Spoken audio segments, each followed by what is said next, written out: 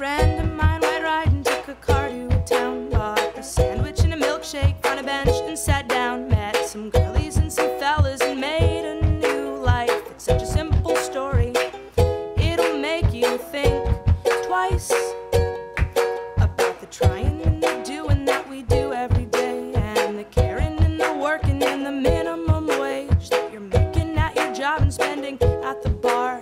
It's just about leaving. You don't have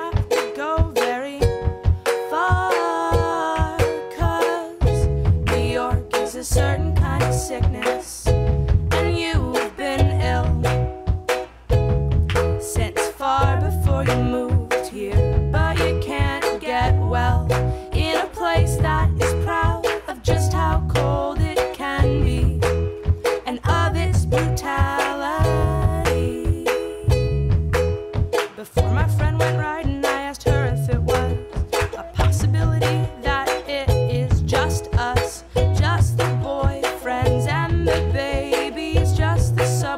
scene. And